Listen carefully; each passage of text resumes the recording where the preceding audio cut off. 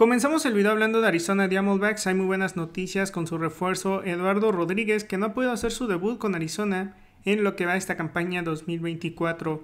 Lo que mencionó el equipo de Arizona es que Rodríguez tiene programado lanzar un juego simulado el día viernes.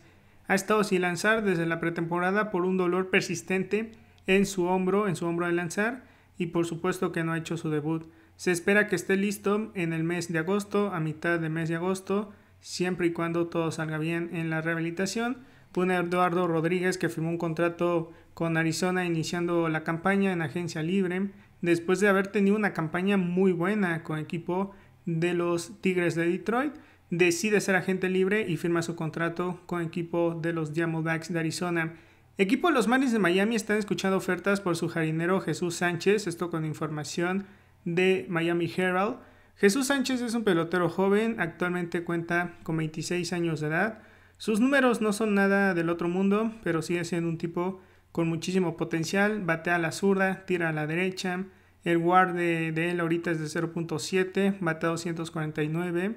Según Baseball Reference, inicia arbitraje salarial la próxima campaña y sería agente libre en el 2028. Actualmente tiene un salario de 2.1 millones de dólares y se une a la larga lista de peloteros que el equipo de Miami está escuchando ofertas, como es Josh Tanner Scott, AJ Puck, Brian de la Cruz, también el señor Jesús Luzardo y eh, Edward Cabrera también. Cuando regresa Fernando Tatis Jr. con equipo de San Diego Padres, con información del manager de este equipo, Miles Shield, dice que Tatis Jr. fue sometido a una nueva resonancia magnética en donde mostró mejoría en la lesión en el cuádriceps que lo tiene fuera del campo desde finales de junio pero todavía no tienen en sí una fecha estimada de cuándo podría regresar.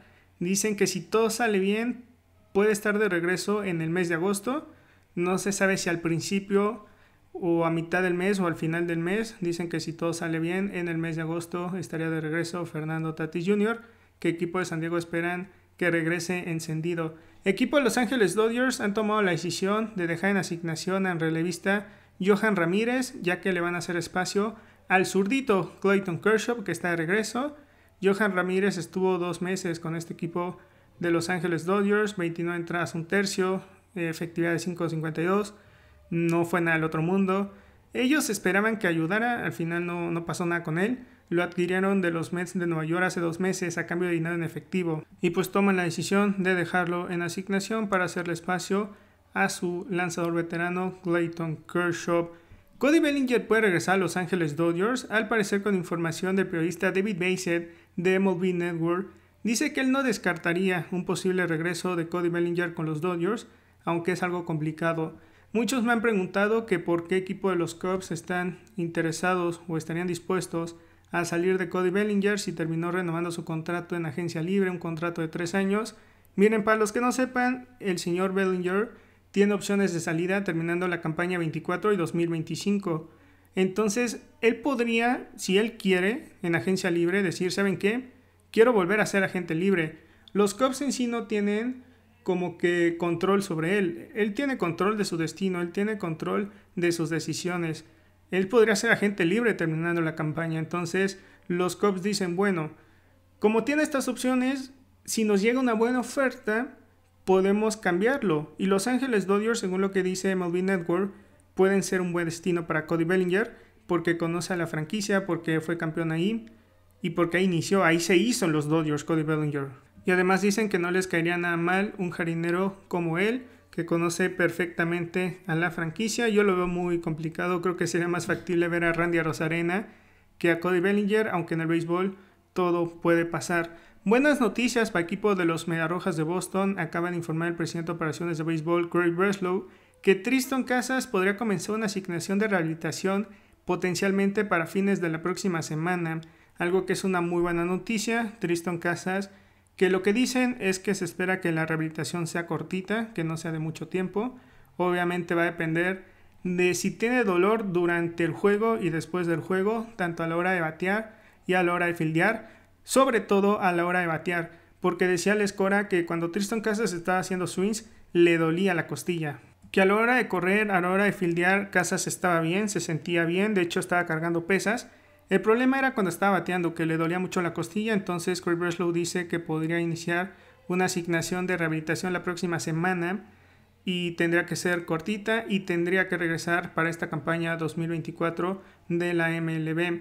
Equipo de Boston, también con información de Alex Spire de The Boston Globe, se encuentran buscando en el mercado a varios pitchers, siendo Jameson Tylon el único pelotero que de momento se conoce que han tenido conversaciones por él. El señor Breslow lo llevó a Chicago, tiene buena relación y no se descarta que Tylon pueda reforzar a Boston, aunque no es seguro.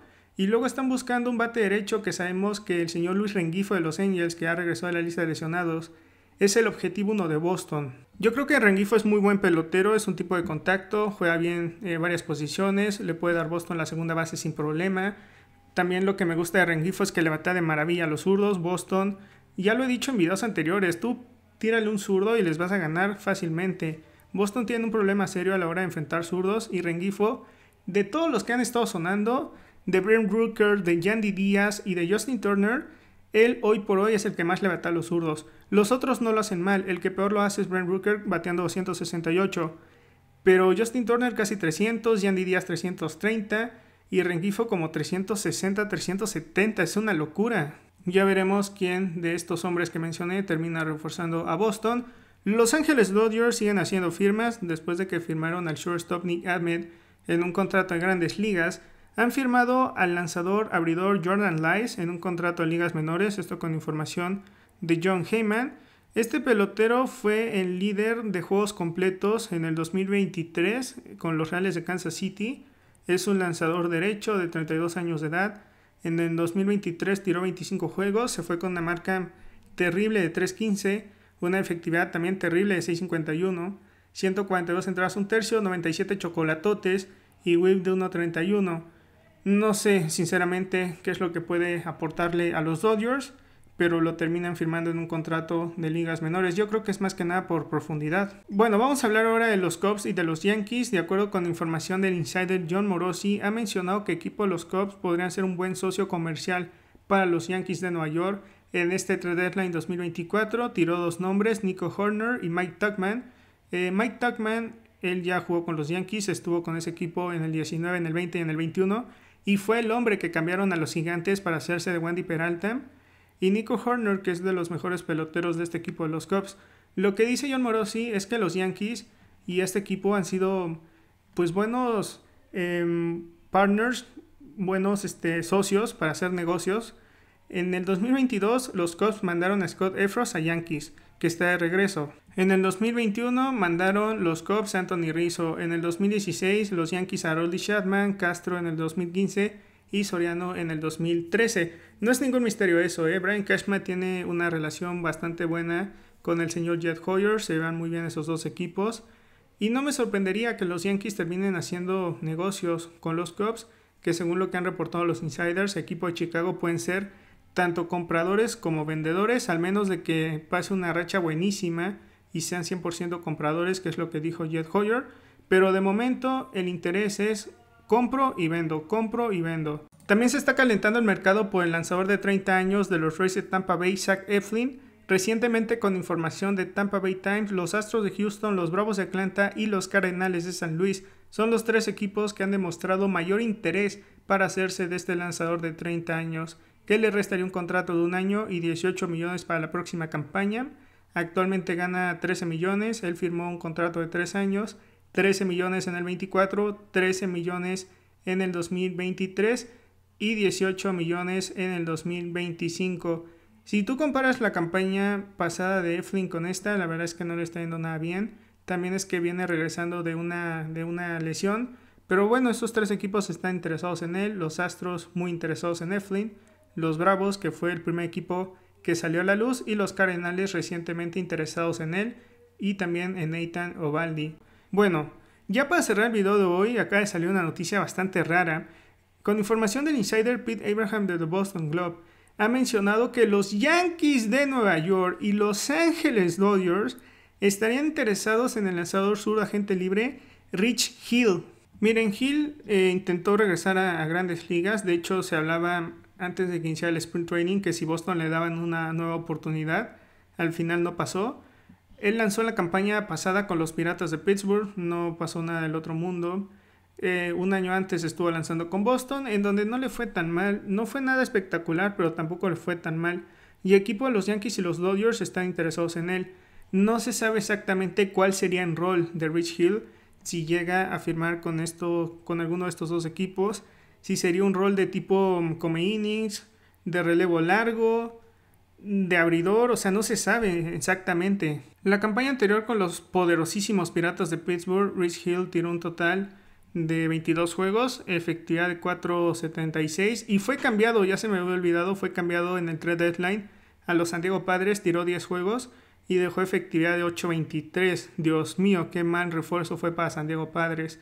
Un año antes con Boston, en 26 partidos tuvo efectividad de 4.27 y luego con los Mets en el 21, efectividad de 3.84. Ahí les voy a poner todos los números de Hill para que los analicen. Pero bueno, es un tipo ya de 44 años de edad y lo quieren equipo de los Yankees y los Dodgers.